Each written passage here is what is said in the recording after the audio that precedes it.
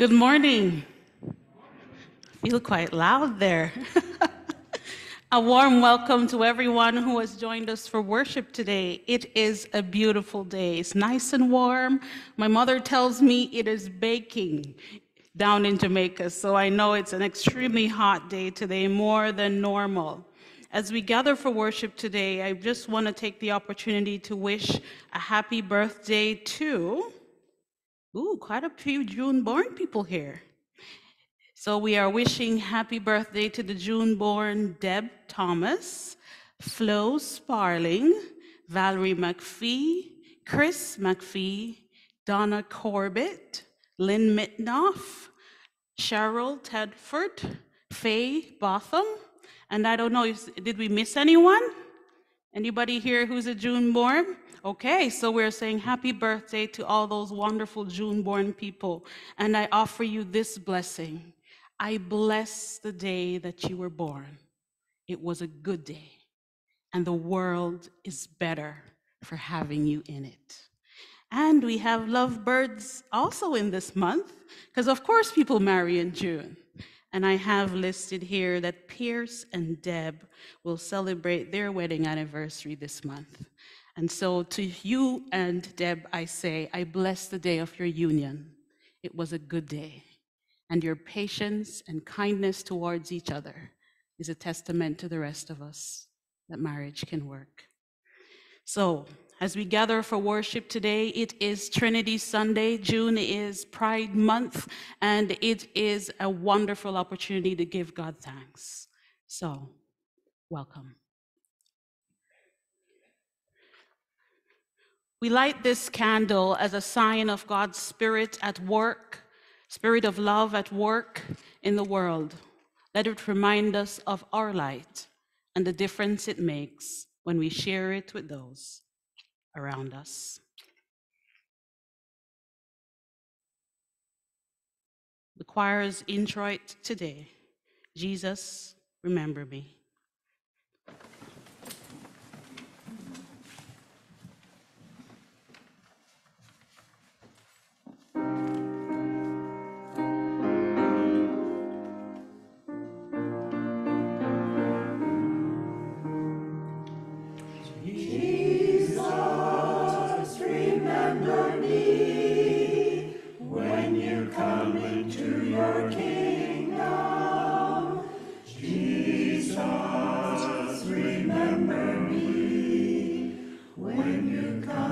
to your King.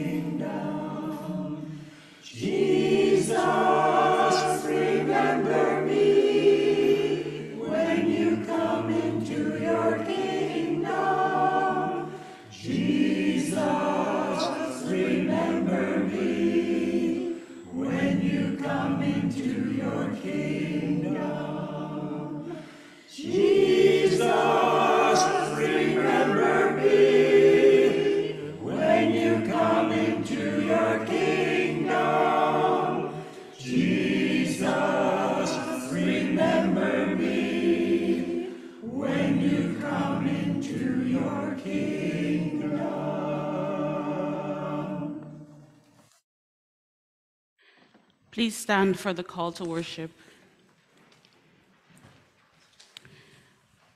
Holy are you, source and creator of all things. We praise you for your gift of life. Holy are you, Son and Redeemer of all things. We thank you for your gift of new life. Holy are you, Spirit and Sustainer of all things. We bear witness to your truth and worship your holy name ever three and ever one. Rejoice in the Lord, you people of God.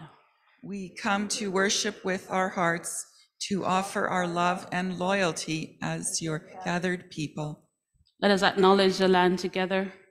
We meet today on the traditional land of the Anishinaabe, Haudenosaunee, and Wendat nations. We seek to live in respect, peace, and right relations with them as we live work, and worship on their traditional territory. We are also mindful of broken covenants and the need to strive to make right with all our relations. Let us join our hearts as we sing from Voices United 639, One More Step Along the World I Go. That is in the red hymnal, Voices United 639.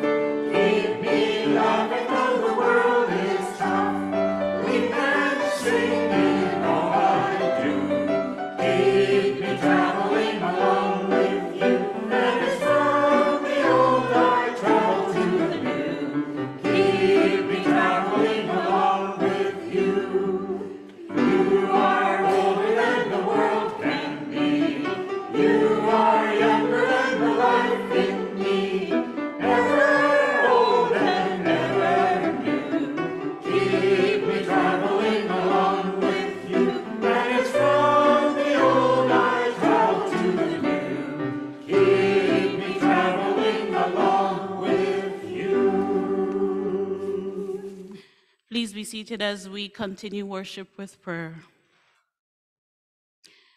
Let us pray.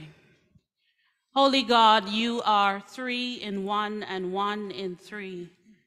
Praise to you, source of life, maker of heaven and earth. You created us in your image and called us good. Praise to you, Jesus Christ, born in our flesh to teach us how to love and offer us grace and mercy. Praise to you, Holy Spirit, for the energy you bring us to greet each day as a gift. Holy God, three in one and one in three, we praise you for your mystery and mercy. Reveal to us how to live as your people, join together this community, and witness to others of your wonder and grace. God of mystery and mercy, you know the details of our lives. You see the sin and the sorrow we bear. You see the problems and the possibilities we face. You see how we fit into the world around us and how we rub each other the wrong way. We confess we do not always see what you see. Sometimes we choose to ignore what we do see, and other times we make things worse. We acknowledge that it is not easy to live in community with others, and too often our personal needs and issues take the lead in how we treat others. Forgive us for all the ways we knowingly and unknowingly sin against you and each other. Open our eyes to the truth of our lives and touch us with your grace. Amen. Amen. The Apostle Paul reminds us that now, from now on, we regard no one from a human point of view. If anyone is in Christ, they are a new creation. Everything old has passed away. See, everything has become new. Thanks be to God that we can all make a new start through God's gift of forgiveness and peace. Amen. Or hymn of response as Voices United 364, Forgive Our Sins. That's also in the red hymnal.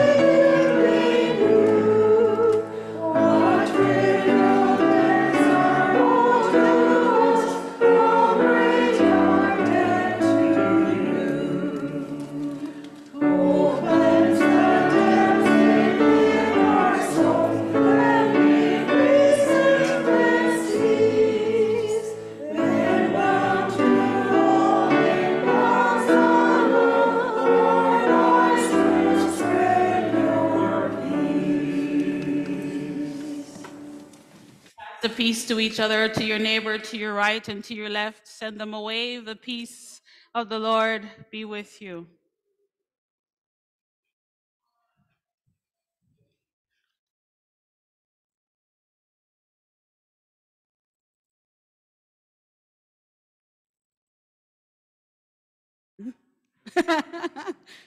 Welcome to Seeds of Faith.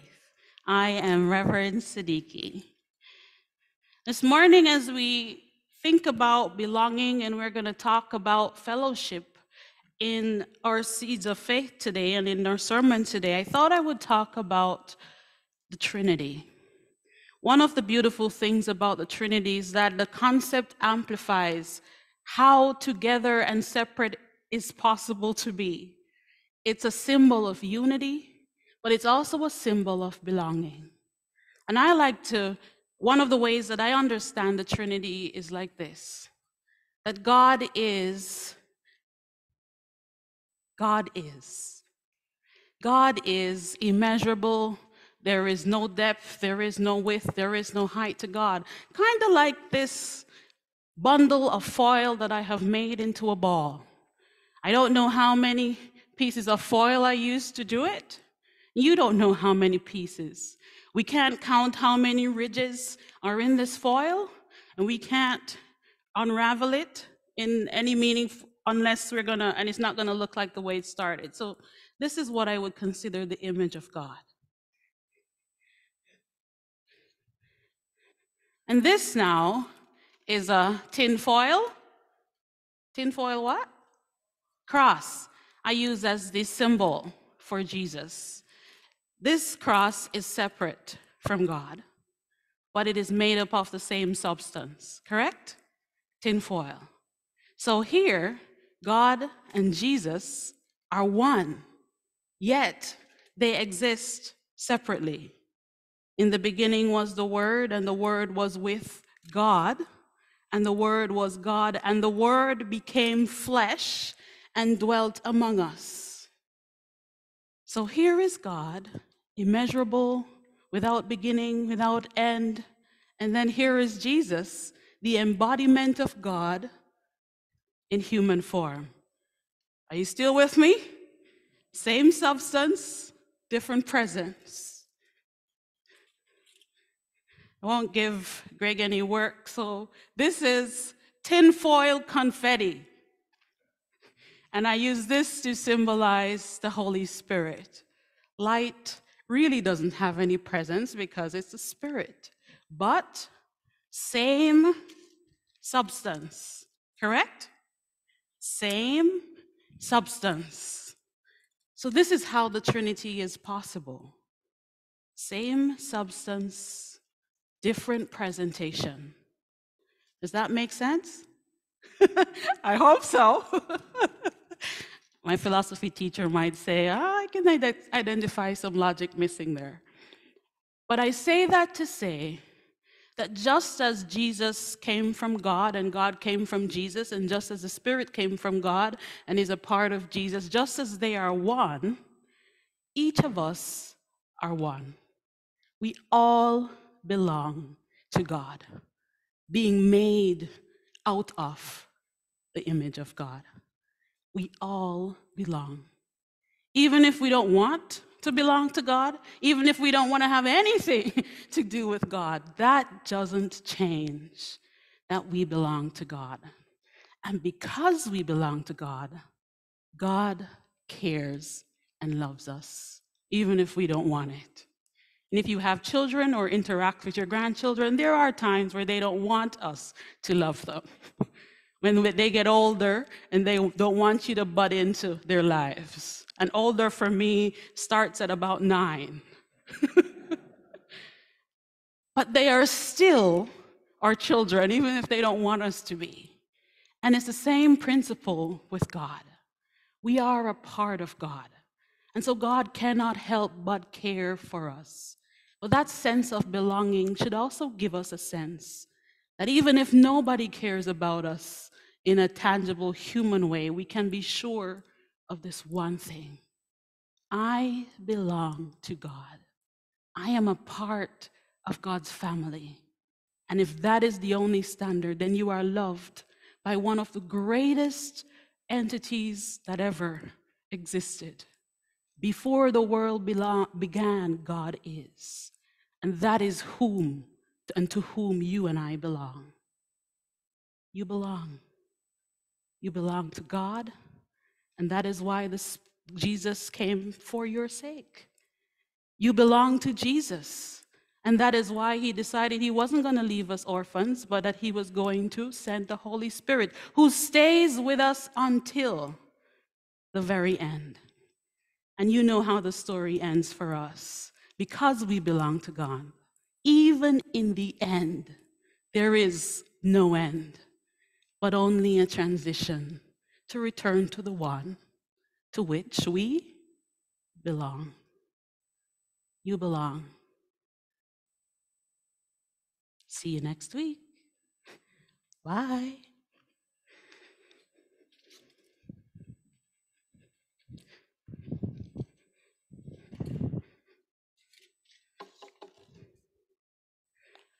As we prepare to listen to the reading from Scripture, we will stand and sing More Voices 136 when hands reach out. More Voices is a spiral hymnal. More Voices 136 when hands reach out.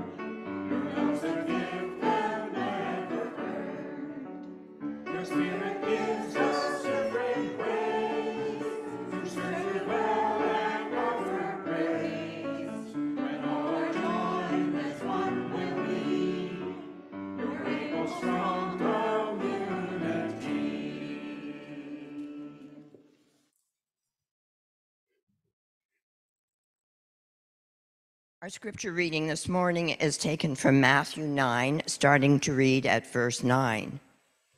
As Jesus went on from there, he saw a man named Matthew sitting at the tax collector's booth. Follow me, he told him. And Matthew got up and followed him. While Jesus was having dinner at Matthew's house, many tax collectors and sinners came and ate with him and his disciples. When the Pharisees saw this, they asked his disciples, Why does your teacher eat with tax collectors and sinners? On hearing this, Jesus said, It is not the healthy who need a doctor, but the sick. But go and learn what this means. I desire mercy, not sacrifice. For I have not come to call the righteous, but the sinners.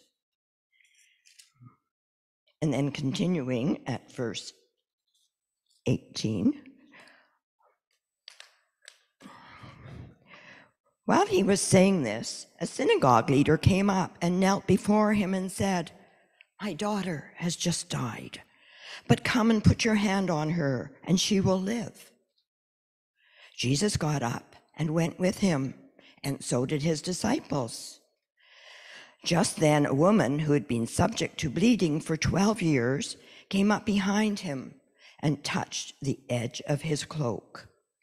She said to herself, If only I can touch his cloak, I will be healed. Jesus turned and saw her. Take heart, daughter, he said. Your faith has healed you. And the woman was healed at that moment. When he entered the synagogue leader's house and saw the noisy crowd and people playing pipes, he said, Go away. The girl is not dead, but asleep. But they laughed at him. After the crowd had been put us outside, he went in and took the girl by the hand, and she got up. None of, never, news of this spread through all the region. May God bless us to understand these words from Scripture. Thanks be Our choir music ministry today, Give to Us Laughter.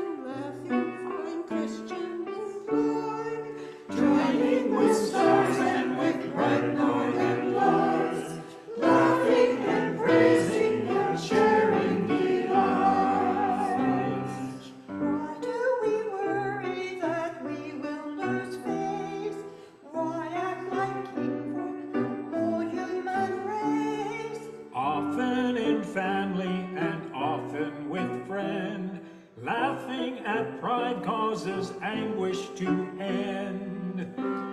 Even in sorrow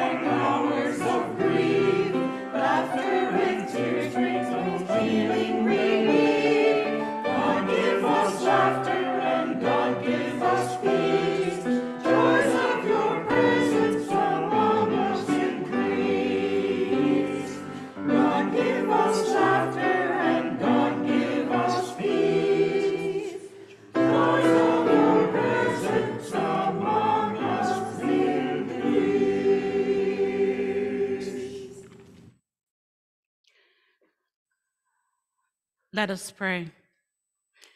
God, you have spoken through your living word. Jesus Christ, your spirit speaks through the scriptures. Grant us understanding through what we see in Jesus and hear in scripture, that we may know your will and follow your way. Amen. We continue our worship today with, we're talking about purpose, and last week we spoke about worship. And today we talk about fellowship. We were formed for God's family. You were called to belong, not just to believe.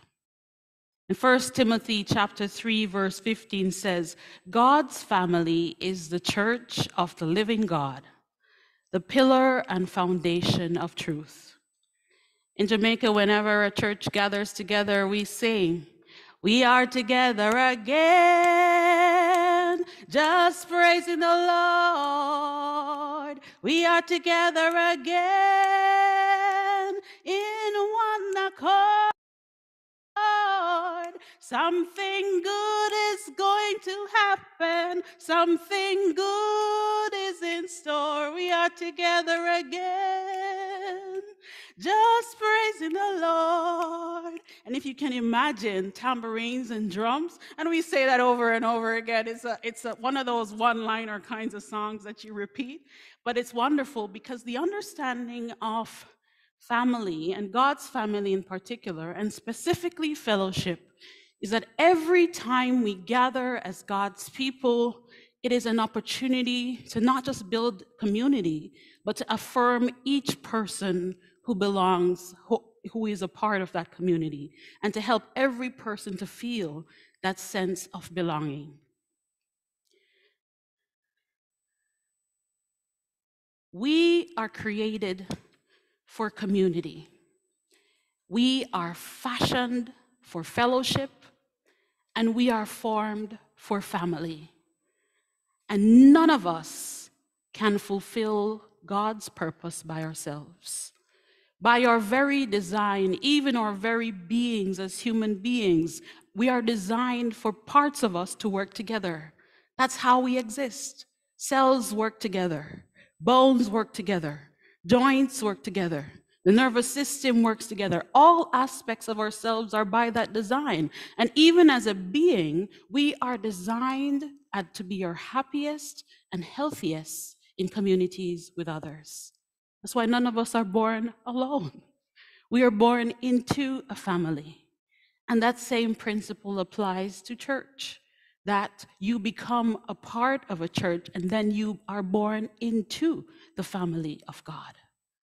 So when we say, I want to be a Christian, we're actually just acknowledging a family to which we belong to all along because we always belonged.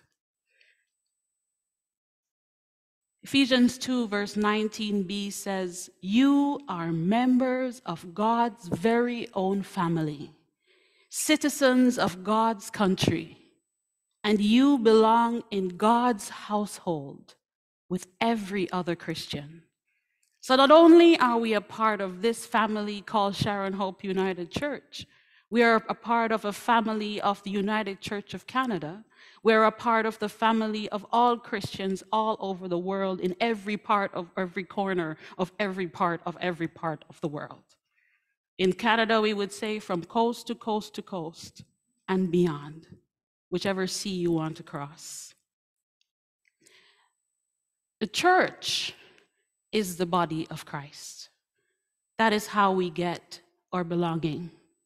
So while your relationship with Christ is personal, God, ne- God never intended your relationship to be private. In God's family, each of us is connected to every other believer, and we will belong to each other. Romans 12, verse 5 says, In Christ we who are many form one body. Each member belongs to all the others. I wonder how people feel about that, about belonging to each other. Because that kind of throws a different spin on how we treat each other. So we talk about membership. Whenever the image of the body of Christ is used in Scripture, it is designed for us to develop an appreciation that each of us not only has value, that not only do we are we a part of a family, not only are we entitled to be a part of a family, but we are vital to that family. Like a vital organ is vital to the living body, indispensable, interconnected, a part of the body, and in this case, the body of Christ. The church is a body, not a building. I think the pandemic tested that. The church is an organism, not an organization. We do organize things, but the church is an organism. And just like organs are essential for the body, and if they don't work, it has implications for how the body functions, it's the same way when you and I don't function in the way that we should, it affects the body of Christ. Membership is the Bible says that a Christian without a church home is like an organ without a body, a sheep without a flock, a child without a family. To not be in fellowship with the other Christians is not the state of being that God intended for us. So while we can manage our faith on our own in front of a television screen and we read our Bible every day, by design, God intended that the fullest way to become a Christian, adaptive, and to fully understand and live into the lessons that we have to live into, we need other Christians to do that. We need other people. In fact, one of the first symptoms of spiritual decline is inconsistent attendance in the gathering of God's people, not just church, but other gatherings. Ephesians 2, verse 19b says, You belong in God's household with every other Christian. If you don't believe me, if you ever, if you have a family member who does not attend the family events, tell me how, what kind of relationship does that person have with the family?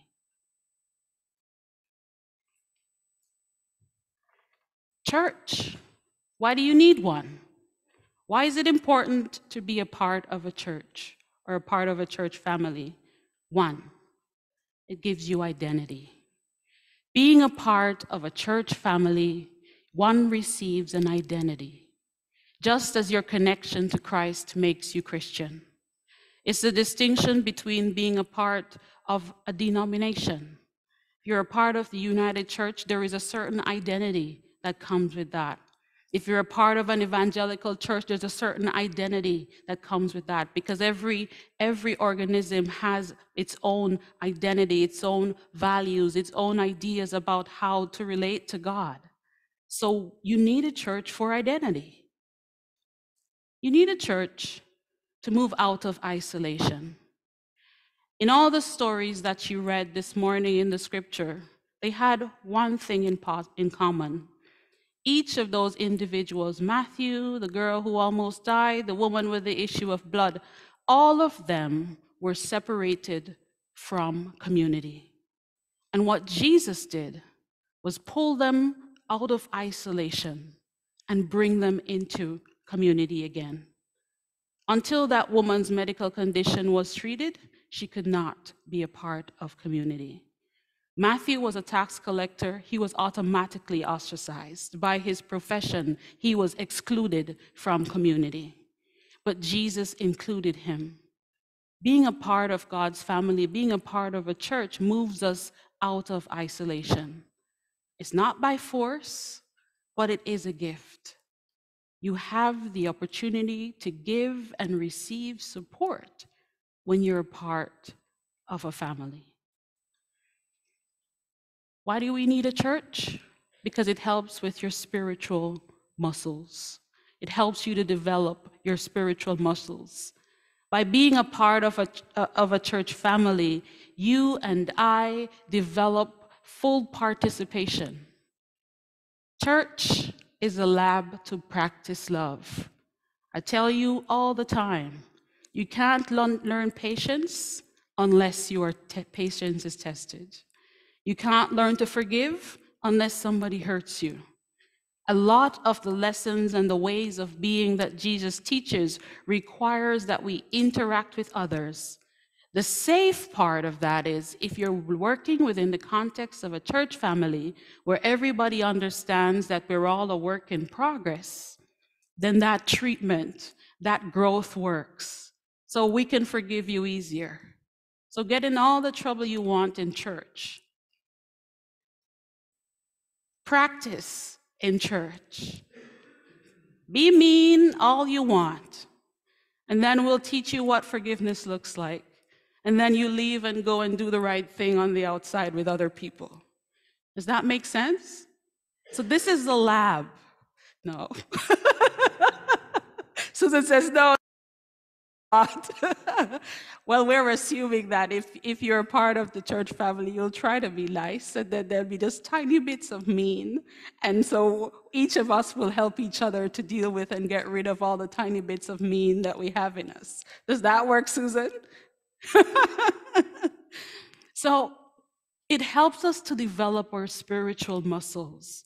And gradually, as you develop those skills, it strengthens your capacity to not just relate to people who are Christians, but also to relate to people in general. Why else do you need a church?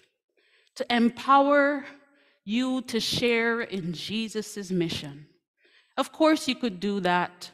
You could share in the mission to the world. You can do mission outside of the church. You can join one of the Kiwanis club. You can join, if you're in the medical field, you can go and join the medical field and go off to some deserving country to offer eye tests and medical tests. You can do that kind of mission. There's lots of missions out there in the world because there's lots of need in the world. But Jesus's mission, mission that is driven by Jesus's ideals, are accomplished through the church. And what is Jesus' mission? It's two parts.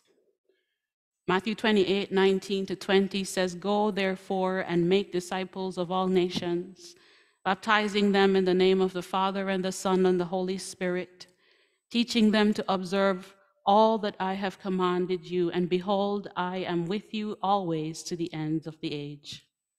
Go out into the world and make people recognize that they belong to a family.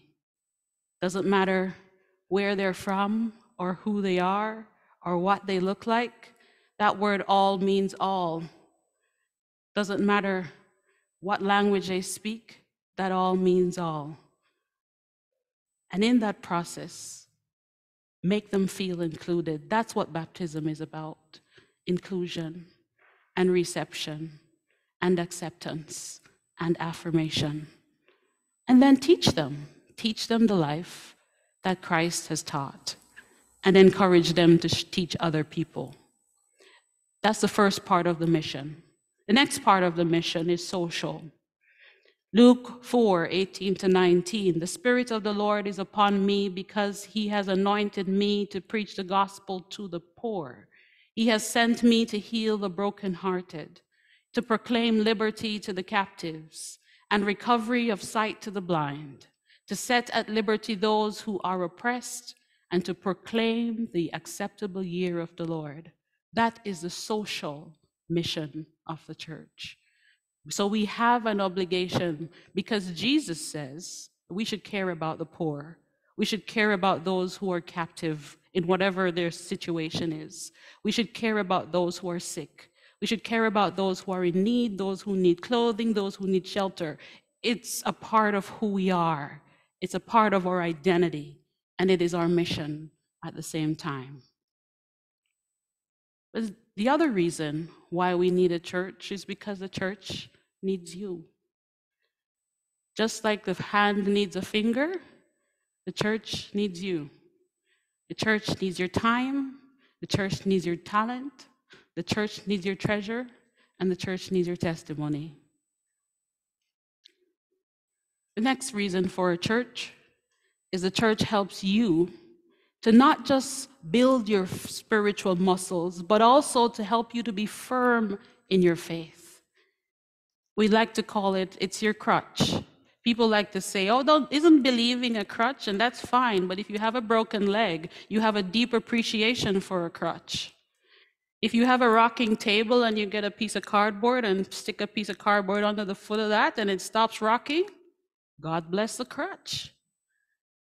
You need the crutch. You need the church. And what the church does in times when we are not firm is through teaching, through worship, through fellowship, it all gives us and strengthens our faith in especially the times when we don't have enough in ourselves to do so. And that is fellowship. God intends for us to experience life together. And the Bible calls this shared experience fellowship. So every church should have opportunities to come together, to have spend time together. That is not about collecting money. That is not about some particular agenda, but just to hang out and support and encourage and laugh and get to know each other. Doesn't always have to happen in large groups, but it should at least happen in smaller groups because the design, according to how God intended, is that we must experience life together. And if you have to be a secret Christian, like many Christians are these days, then the church is the one place that you can, what we call God speak, without people looking at you weird. You know, where you can say, I'll pray for you, and nobody goes, What are you talking about? Or you can say, Thank God, and nobody looks at you weird. That doesn't happen to you? If, if I'm in a place and I'm not in a religious setting and I sometimes accidentally say religious things, and people look at me go, oh, she's one of those people. it's okay. I don't mind. I'm not particularly hurt by it. I'm just secret. But when I'm with my friends, people who are a part of the faith, it doesn't matter denomination or whatnot, then I can say, that's some serious sin you're doing there. I'm going to sin by having two slices of cheesecake instead of one. Fellowship is people experiencing life together.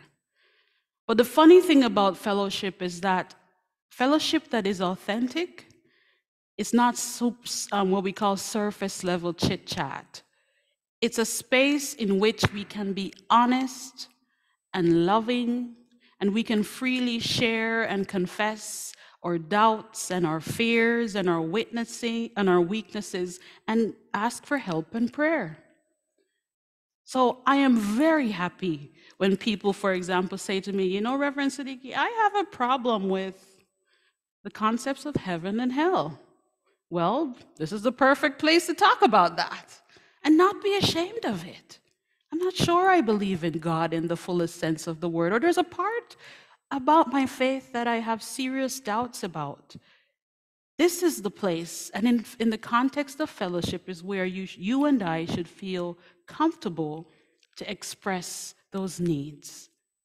And at the same time, when you, your grandchild has a birthday, or a new grandchild has appeared, or someone's getting married, or someone is having a birthday party, or someone has passed away, or someone's in a hospital, all of that is also included in experiencing life together. That is what fellowship should feel like. In fellowship, people experience authenticity. So we relate to each other not just because we're in church, but because we genuinely care about each other's well being. People experience mutuality. The same care you have for me, the same I have for you. And we respond accordingly. Our bodies are a model for us to understand our lives together at church. Every part is dependent on the other part. In fellowship, people experience sympathy. And sympathy is not a bad thing. And we call it empathy in modern times, but I think the Bible is still correct. It is sympathy. Sympathy produces or meets two needs. First, sympathy allows you to indicate to the person that you understand. And secondly, sympathy allows you to help to validate another person's feelings. So in real fellowship, there is sympathy. In real fellowship, there is mercy. We all need mercy. And by mercy, we're talking about forgiveness. Colossians 2 verses, Corinthians 2 verse 7 says, when people sin, you should forgive and comfort them so that they won't give up in despair. Leviticus 19 verse 18 says, never hold a grudge because bitterness and resentment always destroy fellowship. If all the things I've listed about fellowship were true, then it sounds like heaven, doesn't it? Sounds like that place where everybody is happy and people get along and everybody's kind and they care. But the truth is, the prayer we say every Sunday for sure, Thy will be done on earth as it is in. It is God's intention that even our interactions with each other are fulfilled and are like they are in heaven. So, how do we cultivate community? How do we cultivate fellowship? One, we need honesty. We will have to care enough to lovingly speak the truth. That's how we do it. Community also requires humility. We will have to care enough to shed self importance and shed smugness and shed stubborn pride. Stubborn pride is a very difficult characteristic to shed because that is the part of us that helps us to present as if we have everything all together. Got it? Even when we're falling apart, just this one hour in service, I want to look like I got everything together. And then when I get home, I can fall apart. The truth is, in the context of fellowship, at least the one God intended, this is the place to fall apart because you're surrounded by the people who mutually will help you to put things back together. And if you don't, then you fall apart alone. And nobody knows that you're falling apart. And then you develop resentment that you're falling apart at home and nobody cares. We're not assigning blame, but we are saying nobody knows. And that's what we call stubborn pride. Courtesy is essential for cultivating community. We have to care enough to respect our differences, be considerate of each other's feelings, and be patient with others who irritate us. I don't know, every time I'm driving, I'm irritated by the drivers. And I have to exercise a lot of courtesy to not bad drive them. You cultivate community through confidentiality, not in the rigid way that we think about confidentiality in our context of the formal sense, in HIPAA and whatnot, but in the sense that when people are willing to open up and share their deepest hurts and needs, your only reason for disclosure is to help, not to gossip. So Donna tells me her deep, dark secret. I can share that if I'm going to help Donna, not even disclose who Donna is, but Donna needs a problem. There's a problem with Donna's toe. I need to find out if from somebody else. I'm going to ask Kathy if she knows anybody who looks after toes. Because somebody in our church needs help with that. But I'm not going to tell them it's Donna who needs it. And then I'm going to use that information to help Donna with her toe. Confidentiality. It needs frequency. We have to care enough for frequent, regular contact with your group in order to have genuine fellowship. And it must happen by conviction and not convenience. We have to want together. We have to want to, to be together, to hang out together, and recognize that not only are we doing it for doing sake, but because we need it as a person. So we are formed for God's family. You are called to belong, not just to believe. And that belonging is experienced through fellowship that is authentic, that is mutual, that is sympathetic, that is merciful, and that is based on a relationship where we experience life together. Fellowship is cultivated through honesty, humility, and courtesy. And it is best when it is confidential, it is frequent, and those involved do it out of conviction and not convenience.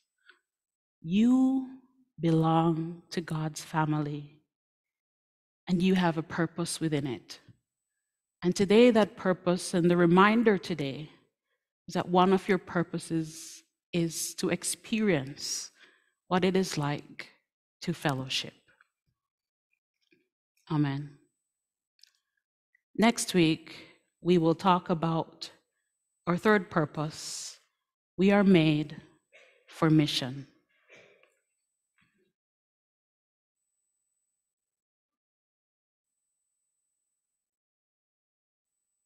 And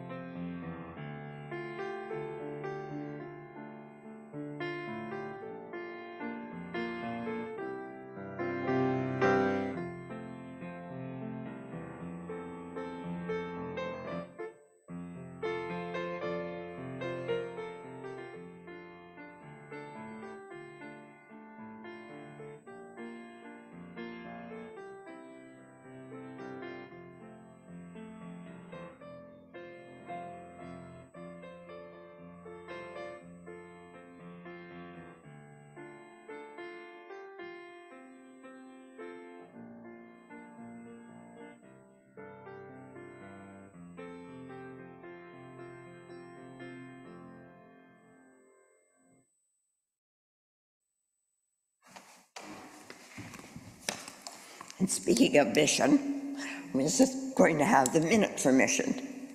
The path toward healing, Murray Pruden's work.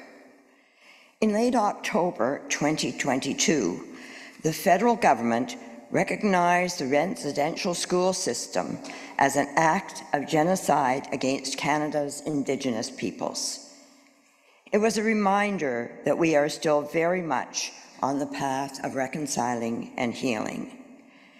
We know that we have an impact as a united church, says the Reverend Murray Pruden. He is Nisha Cree First Nations from the Goodfish Lake and Saddle Lake First Nations, and is the current executive minister for Indigenous Ministries and Justice for the United Church of Canada. And he was at our meeting last weekend. Supported by mission and service, Pruden has made significant gains in building relationships of trust and healing between the church and Indigenous communities. After unmarked graves were discovered in Kamloops, BC in 2021, the United Church gave an additional $3 million to help Indigenous communities respond, mourn, heal, and potentially find other unmarked graves. Because we believe every child matters, the funds are also supported the dedication of memorials to lost children, like one for a BC community that raised a totem pole funded in part by Mission and Service. Other healing initiatives include the translation of the Mohawk language Bible. This Bible is supposed to be ready in the fall. The Food for the North program, healing circles, and programs for Indigenous youth to learn and reclaim their languages.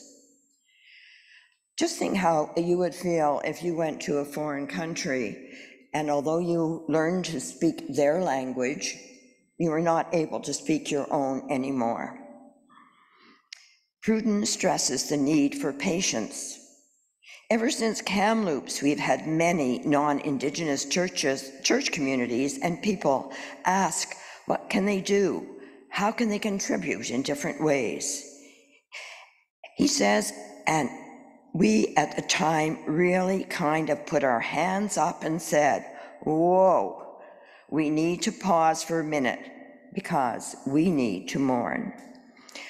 I think we still have so much to give, to teach, and to be in relationships with. And as long as we have greater understanding within the church and the supports, we can do it. Relationships, friendships, understanding, and trust. These are the foundations of the work mission and service are doing in Turtle Islands, thanks to your generosity. Sometimes we don't understand just how much and where our mission and service money goes. I was not aware that $3 million had gone to help with the Healing Fund. So I'd just like to close with this prayer.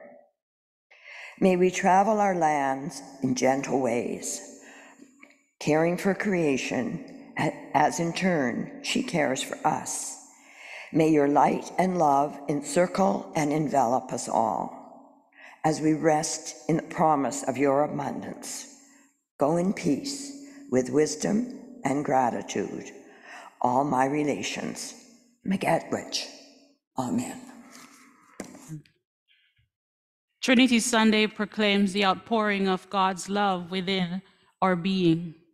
For God's very nature is love. Trinity Sunday also celebrates unity, working together for the common good. May our gifts offer an opportunity for our love for God and our willingness to put that love into action in God's world together. We will sing Voices United 316, Praise or Maker, as the offering is collected.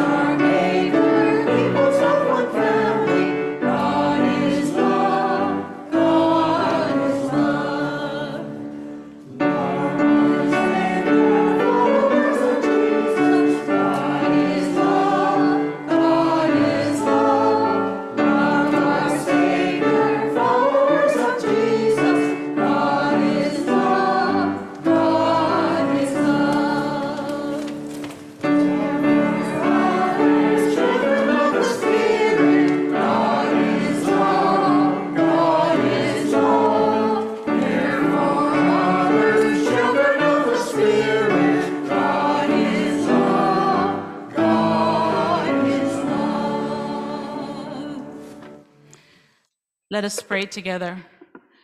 God of overflowing love, receive our gifts as signs of our love and commitment to live for you. It is a symbol of our desire to work together to achieve your purposes in this church and our community.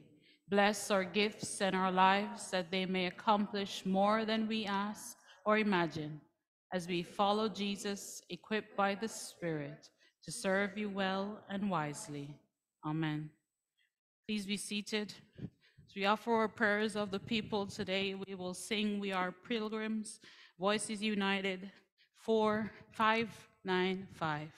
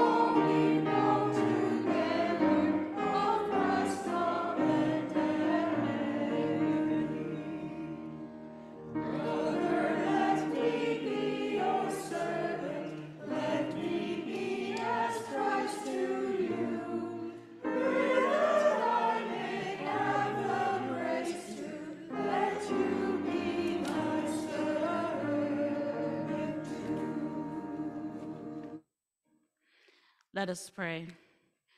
Lord our God, whose glory is beyond compare, whose mercy is boundless and love for us is endless, look upon us now in your compassion, for peace that calms our hearts and saves our souls. and for peace in the whole world and throughout creation. Lord, have mercy. Give us unity of purpose. For the stability of the church and the unity of this congregation, for the ministries of your church here and around the world in these challenging times, for the United Church of Canada, its leaders and ministries, Lord, have mercy. Give us unity of purpose. For our country, our leaders, and all those in public service, for this community and for every neighborhood and nation, and for all who offer themselves in service for the common good, Lord, have mercy. Give us unity of purpose. for the whole of God's creation in its beauty and bounty, for the well-being of every creature and their habitats. Unite us in willingness to change our ways to protect places and people at risk, and for generations yet unborn, that they too may thrive. Lord, have mercy, give us unity of purpose. for the safety of those who must travel by land, sea, and air, for those who long to travel but cannot, and for all those who are separated from those they love. Lord, have mercy and give us unity of purpose. for the sick, the suffering, and the isolated, for victims of violence, refugees and captives, and for our protection against all affliction, danger, and distress. We raise prayers for those among us who are celebrating remission from cancer, who are recovering from surgery, those who are preparing to go into surgery. Lord, have mercy and give us unity of purpose. To you, Holy God, Father, Son, and Holy Spirit belongs all glory, honor, and worship, now and forever, and to the ages. Hear us now as we pray in the words that Jesus taught us. Our Father, who art in heaven, hallowed be thy name. Thy kingdom come, thy will be done on earth as it is in heaven. Give us this day our daily bread, and forgive us our trespasses, as we forgive those who trespass against us. And lead us not into temptation. For thine is the kingdom, the power, and the glory, forever and ever. Amen. Let us stand and sing our closing hymn. More voices, 213. Take up his song.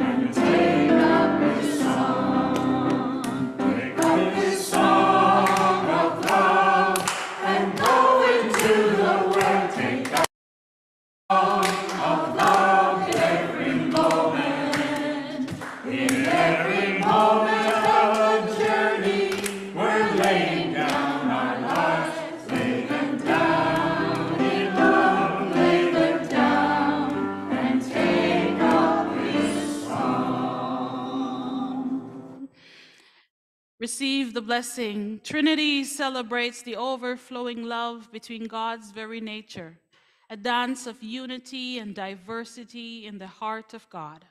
So let us join the dance and let God's love flow among us each day, binding us together with card cords that are hard to break. And may the grace of our Lord Jesus Christ, the love of God, and the communion of the Holy Spirit fill you with joy and lead you onward now and evermore. Amen. Our choral parting, more voices 218. May the love of the Lord. Have a good week, everyone.